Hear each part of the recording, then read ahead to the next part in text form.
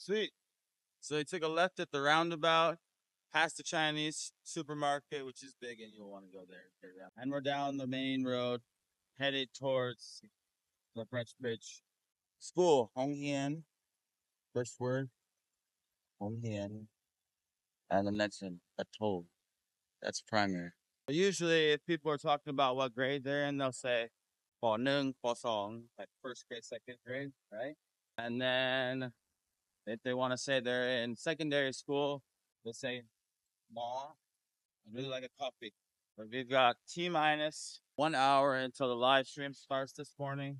So gotta be quick. So on that topic of first grade, second grade, it'll go up to Fall Hope, Fall Hope, so the sixth grade, and then they'll say one in, until Fall Hope. So first to six is elementary, six to uh, seven to to eight, or seven to twelfth grade would be secondary.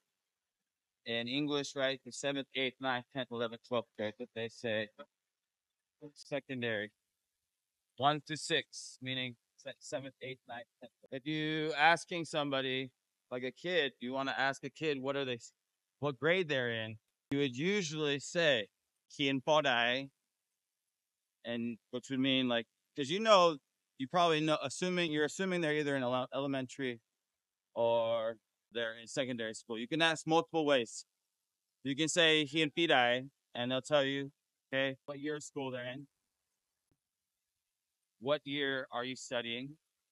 Or you can say, which grade are you in? Elementary grade? He and Hien Podai, Hien Monai. So that would be secondary. Which secondary level are you studying? Not something we say in English, is it? But yeah, that's how you'd ask. So I'd ask a little kid, oh, in what are you? Grade are you in? We made it to the market. And if you go down that road, I'm pretty sure, yes, that road, we have our market over here. There's actually nothing for sale right now, which is surprising. 'cause at night, they have the whole street market. Oh, they got stuff over here. 30,000, 35,000, so a dollar fifty or so for whole chicken thigh and leg and everything. So very good deal. Tunkai is slow cooked chicken. Very nice. Walk. It's an ex- experience to walk across the bridge. It really is. Because the motorcycles go on this path up here. I'll show you when we get over there. All right. So as you can see, motorcycles go down here, but you're walking, you get on here. It's really cool walking at night too. Very dark. And you just see the silhouette of the mountains, the stars, silhouette of the riverbanks and the houses. Give off just a little bit of light. Barely see. Camera can't really capture that, but you can see the mist mist of mountains. The temple. After you come off the bridge over here, you can come down this road, take a left, it'll go all the way down. It keeps going. But uh, there's lots of stuff along that road. That's actually where I can go from my house. But that's quite a ways down there. If you take a right, over here you go towards the historic center. I'd give you street names, but there aren't any. So you got to go by landmarks. And uh, I'd recommend staying around this area, though. I'd highly recommend staying around this area, either on the other side of the bridge or right down this way. You're right outside this historic zone. You're literally five to ten minute walk. It's nothing. And quite honestly, historic zone is nice if you want to pay extra for everything. And it's not really that different from any other local town. And it's nice area, but it's touristy and so it, it comes with price. So you're right outside that prices are kind of low low prices. Really nice. See we got kind of coffee. But sure there's a lot to we're just like one block away from everything at this point. Once we get up up to right about here, there's the temple, and then right after the temple, you have that corner that has lots of stuff, lots of little restaurants, some bars.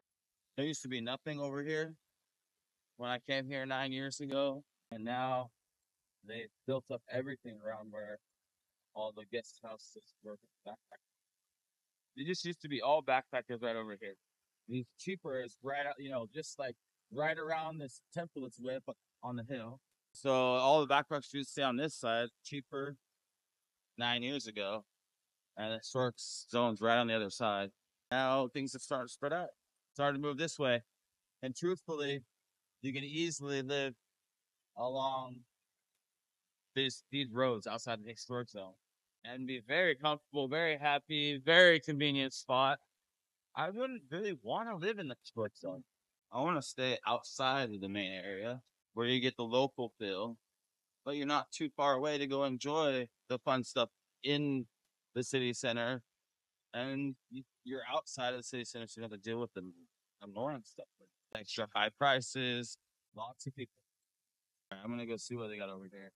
And I'm hoping that maybe they have like uh, vegetable or meat one, because I miss that a lot. They got meat dumpling. I haven't had it in ages. So I was in Shanghai. I'm gonna get uh meat one. 我要一个肉包，还要一个菜包。你有菜包吗？Yes. I would have guessed what we were getting this morning. Good coffee. 肉包辣不辣？不辣， you They just finished. Look at that. Wow. Got the tea eggs. Who's Chinese got top out? Gross. A little over a about. Very little over about. Awesome. See if we can find a. I'm still giving Chinese food a chance. I had good experiences with Chinese food in China. Just because we had one god awful experience here doesn't mean they're all good. Bad. Now, I'm not putting too much hope into these buns because, for one, it's uh, just a plain meat bun. You didn't have the spicy one, which I usually get in China. Regular vegetable. I got one vegetable. So let's see how vegetable one is. Uh, they can tend to be a bit dry, like the, the bread to be these buns. No, these meat- bun vegetable buns. Yeah, the the bread can be kind of dry, but if they do it really well, then oh, the inside is just steaming it nice, and if they've done it really well, then the juices of the inside have got into the bun a bit, or at least there's enough to make it not too dry. And then the tea eggs were a staple of mine as well. Every morning, I used to get spicy, two spicy pork buns, two vegetable buns, and like four to six tea eggs. I'd eat those on the train, the train, the shuttle bus when I had a long commute. Otherwise, I'd eat those before work when I went to my other school. That's my breakfast. Succeeded top mission. But we succeeded in a language mission. A lot of you won't know who this is, but I'm putting this in the video anyway. This is he's one of those language learners I used to watch on YouTube all the time. And he he studied so many different languages and shared them. And he was all about just getting out there and leveling up your language. I I grew up watching Dragon Ball Z. I grew up, you know, playing video games like everybody. So yeah, I always like that kind of way to refer to it. Go get your experience points. Go level up out there. That's how you learn. I was nervous when I was about to talk to him. I spoke Chinese. But shoot. I spoke here and there conversations. I was down south. I spoke to some Chinese, but we kind of lived in China for eight, nine years, man. So I'm rusty.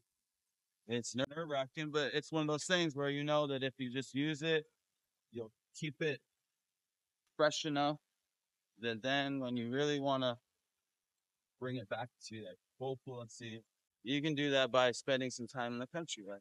I can pull out some time. I never was super fluent in it. Took me about six months. I've never been in a loud environment before, but from s- studying and using it overseas and then finally getting here, it's about six months. We're back. Now let's get some eggs. I need eggs and I've been looking for this. I've been looking for this all over. I don't cook with vegetable oil. It's poison.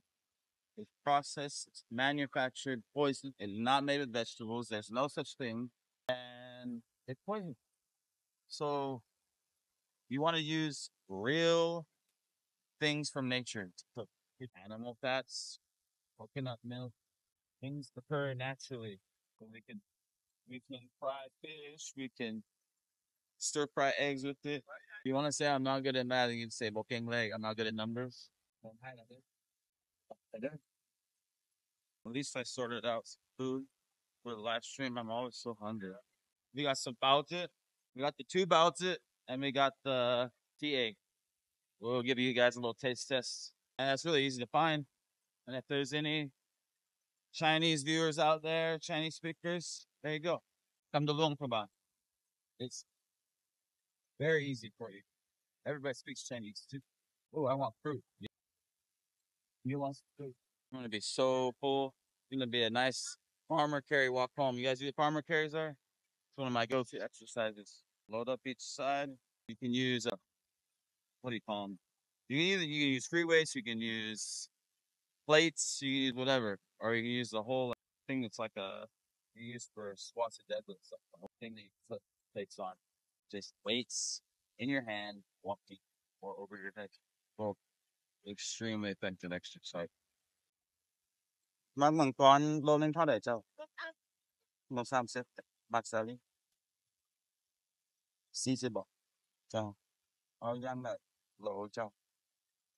For those of you interested in Lao, if you want to say one of each, the way to use each in Lao is the word la, la. So just a neutral tone, la. Then to say like thing as in a general thing, you could say yang, yang la, which would mean each thing, and then you put how many you want. For one, you say yang la an, but if you're saying two things, you can say yang la song an. Explain this right. We'll have to go back and look at it. We try that again. So if you want to say, I want one of each, I want two of each, I want three of each thing. So the word for thing in this situation is yang. It, it's another miscellaneous classifier. Yang. I taught you un before miscellaneous classifier. But yang is more of like uh for kind, as in the word this kind of thing, kind, type, miscellaneous. So you're going say which I asked her how much the dragon fruit was. She said it was thirty-five thousand uh, per kilogram. I asked her how much the the Asian pears were. She said forty per kilogram. And then I said, "Ow." Remember I taught you how to order something? You're always gonna use "ow." I'll take "ow." One kilo of each. Ow. Yama Nilo. I need both hands. That's your lesson for today. See you guys in the next video. My traps and my shoulders are burning. Complete this workout. Early morning training session. I lied. We're back. Very video. Trying the Chinese buns. Rope bao. So we the the meat bun is called bao. Isn't the spicy pork? Is The regular pork. Salty, same. Mm. This might be red. First get chili. Wow. And cheap. tea eggs. Yum. All right, let's do this video. See you in the next one. Live streaming.